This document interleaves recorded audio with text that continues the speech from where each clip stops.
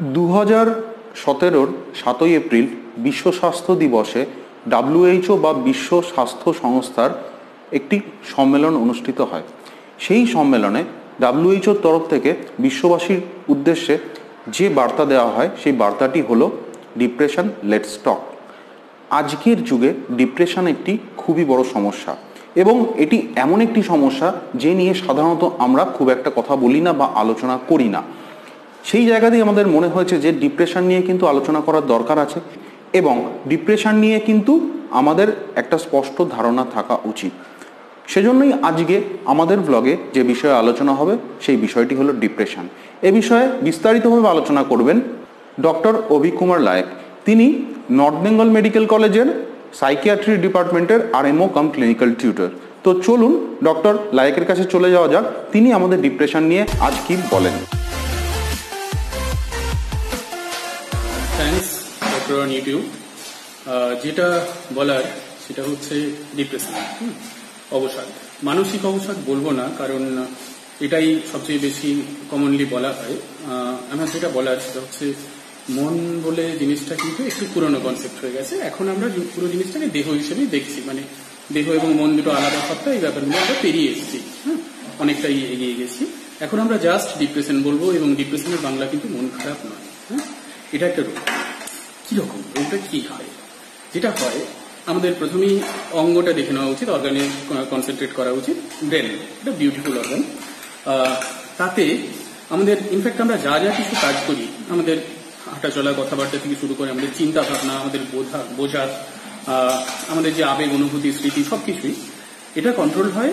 মূলত যেটা হায়ার ম্যামালদের ক্ষেত্রে যেটা কন্ট্রোল হয়, সেটা হয় ব্রেনের সামনের অংশটাতে, যেটা আমরা বলি ফ্রন্টাল লোব এবং এই অংশটা মোটামুটি সবকটা কাজকে কন্ট্রোল করছে এবং আমাদের যে কোনো দৈনন্দিন কাজে হোক, আমাদের চিন্তা ভাবনায় হোক, আমাদের অন্যান্য শারীরবৃত্তীয় কাজে হোক, যে স্ট্রেসটা হয়, সেই স্ট্রেসটাকে আমরা মস্তিষ্কের ফ্রন্টাল লোব দিয়ে মোটামুটি কন্ট্রোল করা হয়।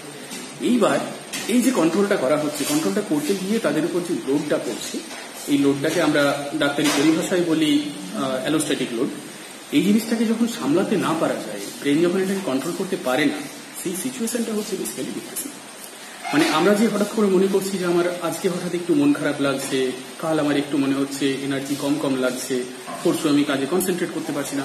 এইগুলো প্রত্যেকটা হচ্ছে এক একটা উপসর্গ। এগুলো কিন্তু ডিপ্রেশন নয়। সব কটা উপসর্গ যখন একসাথে জোটে তখন যে রোগটার সৃষ্টি হয়, সেটা ডিপ্রেশন সেটা কিন্তু একটা অঙ্গের নির্দিষ্ট একটা ফেলিওর বলতে পারি। ব্রেন একটা অর্গান হিসেবে দেখা ভালো, কোনো মানসিক স্টেট হিসেবে না দেখে তার ফেলিওর সেটা কেমিক্যাল ইমব্যালেন্সের জন্য হতে পারে স্ট্রাকচারাল ইমব্যালেন্সের জন্য হতে পারে জেনেটিক কারণে হতে পারে, পরিবেশগত কারণে হতে পারে? এবং এখানে আমরা এই যে স্ট্রেস বলছি, এই স্ট্রেসটা শুধু এই আমাদের কাজের জায়গায় স্ট্রেস বা কারোর সাথে সম্পর্কজনিত স্ট্রেস শুধু এইটুকু নয়। যে কোনো ফিজিওলজিক্যাল কাজে যদি প্রবলেম হয়, এই স্ট্রেসটা আসতে পারে। যে কারণে আমরা বলি যে একটা কোনো মেজর রোগ কিছু একটা হলো যে কোনো ধরনের। তাতে যে একটা ক্লান্তি আসে একটা ফেটিক আসে এটাও কিন্তু সেন্ট্রাল নার্ভাস সিস্টেম যেটা আছে ব্রেন এবং তার পারিপার্শ্বিক, তার একটা ফেলিওর টু সাম এক্সটেন্ট এবং এইটার জন্য যখন অন্য কোনো কারণ আমরা খুঁজে পাচ্ছি না, অন্য কোনো দেহজ কারণ আমরা খুঁজে পাচ্ছি না, কোনো ইনফেকশন বা এই জাতীয় কিছু, তখন সেটা হয়ে যাচ্ছে ডিপ্রেশন যেটা এখনও সম্পূর্ণভাবে আমরা জানতে পারছি না, বেশ কিছু ফ্যাক্টর পাচ্ছি, তাদের মিলিত একটা ব্যাপার। এই জিনিসটা ডিপ্রেশন একটা রোগ হ্যাঁ? হঠাৎ যে কারণে আমরা বলি যে একদিন হঠাৎ করে মন খারাপ লাগল, এটা ডিপ্রেশন নয়। যেমন একদিন হঠাৎ করে আমি প্রচুর খেয়ে নিলাম, আমার ন্যাচারালি ব্লাড সুগার লেভেল বেড়ে গেল, সেটাকে আমি ডায়াবেটিস বলি না। হ্যাঁ? বা হঠাৎ একবার করে আমি অনেকটা দৌড়ে এলাম, আমার প্রেশার বেড়ে গেল, সেটাকে আমরা হাইপার টেনশন বলি না। তেমনি এক দুদিনের মন খারাপটা যে কোনো কারণেই হোক ডিপ্রেশন নয়। বেশ কয়েকদিন ধরে চলবে, লম্বা সময় ধরে চলবে, সেটাই আমার সমস্ত কাজকর্মকে, আমার চিন্তা ভাবনাকে প্রভাবিত করবে। হ্যাঁ? তখন ডিপ্রেশন এটা কিন্তু একটা রোগ। হ্যাঁ? এবং আমরা বুঝব কি করে? আমরা খুব সহজে বুঝতে পারব যে বেশ কয়েকদিন ধরে যেটা বলছিলাম, ভালো লাগছে না, কিছুই ভালো লাগছে না। যে কাজগুলো আমাদের পছন্দের ছিল, যে কোনো রকম আমার হবি আমার প্যাশন আমি আর সেই কিকটা পাচ্ছি না, সেই থ্রিলটা পাচ্ছি না, ভালো লাগছে না। যে কাজগুলো আমি খুব ইজিলি করতে পারতাম সেই কাজগুলো করতে গেলে হাঁপিয়ে যাচ্ছি, করতে পারছি না, ইচ্ছেই করছে না। অন্যান্য যে কাজগুলো, সেটা খাওয়া হতে পারে সেক্স হতে পারে পরিশ্রম করা হতে পারে, কাজে কনসেন্ট্রেট করা হতে পারে, কোনোটাই করতে পারছি না। ঘুম হচ্ছে না বা খুব বেশি হচ্ছে। হ্যাঁ, একই রকম ভাবে খিদে পাচ্ছে না বা খুব অ্যাবারেন্ট খিদে পাচ্ছে। হ্যাঁ এই জিনিসগুলো আসছে। তার উপর আসছে যে আমার যে নিজের এবং পারিপার্শ্বিক সম্বন্ধে যে একটা ধারণা আছে যে আমি নিজে কি বা কি করতে চলেছি বা পরে আমার কি করার ইচ্ছে সেগুলোতে আমি কনসেন্ট্রেট করতে পারছি না। সেগুলোতে আমার কোনো রকম পজিটিভ ভাইব আসছে না। হ্যাঁ ওভারঅল আমার খুব একটা হীনবন্যতা জাগছে একটা অপরাধ বোধ জাগছে একটা ওয়ার্থলেসনেস নিজের উপর একটা ফিল হচ্ছে এই টাইপের যেটা অনেক সময় বাড়তে বাড়তে ওই পর্যায়ে চলে যায়, যেটা আমরা ডিপ্রেশনের একমাত্র বেশিরভাগ ক্ষেত্রে মৃত্যুর কারণ হিসেবে দেখি আত্মহত্যা প্রবণতা। এবং এটা কিন্তু উড়িয়ে দেওয়ার মতো জিনিসটা নয়। এই মুহূর্তে গত বছর দু হাজার আঠারোরই আমাদের যে বিশ্ব স্বাস্থ্য সংস্থা ওয়ার্ল্ড হেলথ অর্গানাইজেশন তার থিম ছিল ডিপ্রেশন লেট স্টপ দেখা যাচ্ছে যে প্রায় ডিপ্রেশনের পরিমাণ এবং এর জন্য যে ক্ষয়ক্ষতির পরিমাণ, যে পরিমাণ রিসোর্স নষ্ট হচ্ছে, যে পরিমাণ আমাদের ডেইলি নষ্ট হচ্ছে, এবং যে পরিমাণ মানুষ আলটিমেটলি মারা যাচ্ছেন, সেই পরিমাণটা অ্যালার্মিংলি বাড়ছে, সমস্ত বয়সে, এবং খুব শিগগিরই এটা মরবিডিটির দিক থেকে, অর্থাৎ অসুস্থতার দিক থেকে প্রথম স্থানের দিকে চলে আসছে। এই মুহূর্তে এখনও অবধি যদি আমরা সারা জীবনের হিসেব দেখি, মোটামুটি সমস্ত মানুষের ওয়ান থার্ড এক তৃতীয়াংশ মানুষ, তিরিশ পার্সেন্টের উপর মানুষ ডিপ্রেশনের শিকার হচ্ছেন, কোনো না কোনো সময়। সুতরাং এটা একটা অ্যালার্মিং অবস্থা। অথচ আমাদের এখনও অবধি ধারণা জিনিসটা খুব গোলমেলে। এটা আমরা পরে আবার আসছি। এবার এই যে বৈশিষ্ট্যগুলো ডিপ্রেশনের যে বৈশিষ্ট্যগুলো আমরা আলোচনা করলাম, সেগুলো একটা লম্বা সময় ধরে থাকছে। আমরা হিসেবের সুবিধার জন্য, চিকিৎসার সুবিধার জন্য দু সপ্তাহর কাট অফ রাখছি, সেটা অনেক সময় চেঞ্জ করে। অনেক সময় লম্বা সময় চলে, অনেক সময় ফিরে ফিরে আসে। এবং অনেক সময় দেখা যায় যে ডিপ্রেশন আরেকটা রোগের সাথে যুক্ত হয়ে আসছে বা আরেকটা রোগের অগ্রদূত হিসেবে আসছে বাইপোলার সেটা সম্বন্ধে আমরা পরে আবার আলোচনা করব। এবার ডিপ্রেশনের যেটা একটা বড় সমস্যা হয় আমাদের দিক থেকে, সেটা হচ্ছে এটাকে বোঝা। যে যে রোগটা হয়েছে সেটা গুরুত্ব দেওয়ার মতো, এটাই ডিপ্রেশন এই জিনিসটা বোঝা। রীতিমতো প্রবলেম হয়। এবং বোঝার, যদি বা বোঝা যায় যে এটা কোনো একটা প্রবলেম যেটাকে সমস্যা হিসেবে দেখা উচিত, তারপর কি করব, এটা নিয়েও আমরা একটা কনফিউজ থাকি।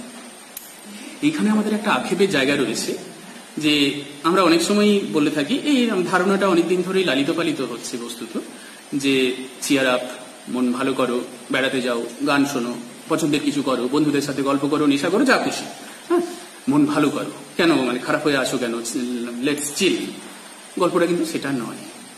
মানে পারে না, এমন নয় যে তারা ইচ্ছে করে করছে। আমরা ডায়াবেটিস হলে কিন্তু বলি না যে লেটস চিল তোমার খাওয়া দাওয়া কন্ট্রোল করো সুগার কমিয়ে দাও। বা হাইপার টেনশন হলে বলি না লেটস চিল দৌড়ে বেড়াও, কত লোক তো দৌড়ে বেড়াচ্ছে? বলি না। এক্ষেত্রে বলছি অবভিয়াসলি নলেজের ঘাটতির জন্য সেটা। তো, এবং এই কারণে ট্যাবুটাও তৈরি হয়েছে। তো, এখন যেটা করণীয়, সেটা হচ্ছে জাস্ট আগে দেখা তার হচ্ছেটা কি কি, সেটাকে গুরুত্ব দিয়ে দেখা, তাই না? যে এটা কোনো মনের ভুলে হচ্ছে না। এটা কোনো বিলাসিতা নয় হ্যাঁ? তার কষ্ট হচ্ছে কিন্তু। যাদের হয়, তারা বুঝতে পারবেন যে সেই সময় যে কষ্টটা হয়, সবচেয়ে বড় কষ্ট এটাই হয় যে এই কষ্টটা কাউকে বোঝানো যায় না হ্যাঁ? এর থেকে খারাপ কিছু লাগে না হ্যাঁ? খুব বেশি খারাপ লাগে যে আমার সকালে ঘুম থেকে উঠতে ইচ্ছে করছে না, আমি বিছানা ছাড়তে পারছি না, কিন্তু এটা যে একটা প্রবলেমের জন্য হচ্ছে, সেটা বাকিদেরকে আমরা বোঝাতে পারছি না, তাই না? এই জায়গাটা থেকে কিন্তু ওই আত্মহত্যার প্রবণতাটা না অনেক বেশি পরিমাণে চলে আসে এবং সেটা নেগলেক্ট করার মতো নয়। যারা বলেন যে আত্মহত্যার চিন্তা মাথায় আসছে তারা কিন্তু অনেক ক্ষেত্রেই ইনফ্যাক্ট বেশিরভাগ ক্ষেত্রেই সেটা কাজেও পরিণত করে থাকেন। যে কারণে এটা প্রচণ্ড বাড়ছে। বাচ্চাদের ক্ষেত্রে আপনারা দেখছেন, বড়দের ক্ষেত্রে দেখছেন, বুড়োদের ক্ষেত্রে দেখছেন, যাদের অন্য কোনো রোগ অলরেডি হয়ে আছে আমাদের যে ইমিউনিটি সিস্টেম সেটা অলরেডি ক্ষতিগ্রস্ত, তাদের ক্ষেত্রে দেখা যাচ্ছে। সুতরাং এই লক্ষণগুলো যদি কারোর ক্ষেত্রে দেখা যায়, আপনাদের পরিচিত কারোর ক্ষেত্রে দেখা যায়, বা র্যাদার সবচেয়ে বড় কথা নিজের ক্ষেত্রে যদি দেখা যায়, সেটাকে গুরুত্ব দিতে হবে। সবচেয়ে বড় কথা এই বৈশিষ্ট্যগুলোকে আইডেন্টিফাই করতে হবে যে এই সমস্যাগুলো হচ্ছে। এবং সেগুলোর জন্য জাস্ট নিজের মন গড়া কোনো টোটকা ব্যবহার করব না। এইটা সবচেয়ে একটা গুরুত্বপূর্ণ জায়গা। কারণ সময়টা ইম্পর্টেন্ট কতটা সময়ের মধ্যে চিকিৎসাটা তৈরি হচ্ছে, শুরু হচ্ছে, সেটা গুরুত্বপূর্ণ। তো সেই সময়টা একটু নষ্ট করা যাবে না। এবার চিকিৎসার ক্ষেত্রে ডিপ্রেশনের আমরা দু তিন রকমের চিকিৎসা হাতে দেখছি। যখন একদম প্রথম পর্যায়ে থাকে মাইল্ড মডারেট মানে কিছু কিছু বৈশিষ্ট্য। যে বৈশিষ্ট্যগুলোর কথা আলোচনা করছি কিছু কিছু বৈশিষ্ট্য। হয়তো দিনের পর দিন শুধুই মন খারাপ লাগছে। বা একটু ওই নিজের প্যাশন নিজের পছন্দের কাজে করবে, উৎসাহ পাচ্ছি না, বা ক্লান্ত হয়ে যাচ্ছি, এর মধ্যে কিছু কিছু বৈশিষ্ট্য আছে, সবকটা নেই। সেই রকম অবস্থায় অনেক সময় কাউন্সেলিং বা সাইকোথেরাপি কাজে লাগে। এবার কাউন্সিলিং বা সাইকোথেরাপি কিন্তু অবশ্যই একজন ট্রেন্ড পার্সোনালের কাছে হ্যাঁ? যারা সেই ব্যাপারটা জানেন। সাধারণত আমাদের একটা, আমরা সবাই একটু একটু চেষ্টা করে ফেলি অনেক সময়, সেটা অনেক সময় ভুল হয়ে যায়। যে আমরা নিজেদের খারাপ লাগার ফেসগুলো তার সামনে বলতে থাকি। একজন ডিপ্রেসড মানুষের কাছে বলতে থাকি যে, আমিও এই সময় ডিপ্রেসড ছিলাম, আমাকে ফলো করো। না, কাজ হয় না। বা, আর তার জীবনের কোনো ভালো সময়, অনেক সময় কাটানোর কথা বলতে থাকি, কাজ হয় না। তার প্রবলেমটাকে আইডেন্টিফাই করা খুব জরুরি থাকে। দ্বিতীয়ত, যদি এই মাইল্ড টু মডারেটের থেকে বেশি হয়, অনেক কটা বৈশিষ্ট্য দেখা যায় যেগুলো আমরা আলোচনা করলাম। সেক্ষেত্রে কিন্তু আমি বলব, সময় নষ্ট না করে অবশ্যই কোনো সাইকিয়াট্রিস্টের সাথে দেখা করা। এখন মোটামুটি সমস্ত হসপিটালেও সাইকিয়াট্রিস্ট থাকছেন, তাদের সাথে অবশ্যই দেখা করা। কারণ সবার আগে রোগটা আইডেন্টিফাই করা। আইডেন্টিফাই হয়ে যাওয়ার পরে এই সিভিয়ার অবস্থায় আমাদের হাতে কিন্তু সবচেয়ে ভালো চিকিৎসার অপশন রয়েছে ওষুধের থ্রু দিয়ে এখন যে ওষুধগুলো আমরা পাচ্ছি, বেশিরভাগই কিন্তু প্রথম ক্ষেত্রটাতে আমার যদি কোনো পারিবারিক ইতিহাস না থাকে বা ততটাও জটিল না হয়, বেশিরভাগ ক্ষেত্রেই কিন্তু সেটা ওই ছয় মাস কি এক বছর কি প্রয়োজন মতো তার থেকেও কম বা বেশি, এর মধ্যেই ব্যাপারটা শেষ হয়ে যায় এবং জিনিসটা অতটাও সমস্যাজনক হয় না সেই সময়টাতে। পরিবর্তে আমরা যে সুবিধাটা পাই সেটা কিন্তু ম্যাসিভ অনেকটাই বেশি। আর পরবর্তীকালে অনেক সময় তার যদি মেনটেন করার দরকার হয়, সেক্ষেত্রে বাকি কাউন্সিলিং বা সাইকোথেরাপি এই গল্পগুলো তারপরে আসে। এর বাইরেও কিছু কিছু অপশন রয়েছে হ্যাঁ যেগুলো নিয়ে আমরা হ্যাঁ তার আরও যদি জিনিসটা ক্রনিক চলতে থাকে বা রেজিস্ট্যান্ট ফর্মে চলে আসে, তখন জিনিসটা আমরা ভাবতে পারি। তা নইলে কিন্তু আর কিছু জায়গায় থাকছে না। কিন্তু সবার আগে তাহলে কি দরকার হচ্ছে? রোগটা সম্বন্ধে কথা বলা। যে রোগীর এই ধরনের সমস্যাগুলো দেখা দিচ্ছে, তাদের যে ওগুলো সত্যিই একটা সমস্যা, তারা যে বানাচ্ছেন না, বা সেটা যে কোনো বিলাসিতা নয়, এটা আইডেন্টিফাই করা এবং যত তাড়াতাড়ি সম্ভব, যেরকম আমরা সাপে কামড়ালে যত তাড়াতাড়ি সম্ভব তাকে হাসপাতালে নিয়ে যাচ্ছি, ডাক্তারের কাছে নিয়ে যাচ্ছি, এক্ষেত্রেও কিন্তু ততটাই গুরুত্ব দিয়ে এবং তত তাড়াতাড়ি তাকে সেখানে নিয়ে যাওয়া। এর বাইরে কিন্তু কোনো পন্থা নেই। তারপর যে চিকিৎসাটা শুরু হবে, সেটা সম্বন্ধে জানা, সেটাতে লেগে থাকা হ্যাঁ এবং জিনিসটা থেকে সুস্থভাবে বেরিয়ে আসা। বেশিরভাগ ক্ষেত্রেই কিন্তু সেরে যাচ্ছে। প্রাথমিক অবস্থায় খুব ভালো রেসপন্স পাচ্ছি আমরা দৈনন্দিন জীবনে। অতএব এটাকে মানে হতচ্ছেদা করার কোনো চাই তো আজকের এই ব্লগে আমরা ডিপ্রেশন নিয়ে অনেক কিছু জানলাম। ডিপ্রেশন হলে সেক্ষেত্রে আমাদের কি করা উচিত? আমাদের কোনো আত্মীয় স্বজনের যদি ডিপ্রেশনের কোনো ফিচার থাকে, সেক্ষেত্রেই বা আমরা কি করব? তো ব্লগটি কেমন লাগল অবশ্যই সেটি নিচে কমেন্ট সেকশনে লিখে জানাবেন। আমাদের চ্যানেলটি যদি এখনও সাবস্ক্রাইব না করে থাকেন, তাহলে আপনার মোবাইল স্ক্রিনের ঠিক নিচে যে লাল রঙের সাবস্ক্রাইব বাটনটি আছে, সেটিও প্রেস করবেন এবং তার পাশে যে বেল আইকনটি আছে, সেটিও প্রেস করতে ভুলবেন না। এর ফলে আমাদের পরবর্তী ভিডিওগুলি আপনার কাছে ইনস্ট্যান্টলি পৌঁছে যাবে। Till then stay fit be healthy thank you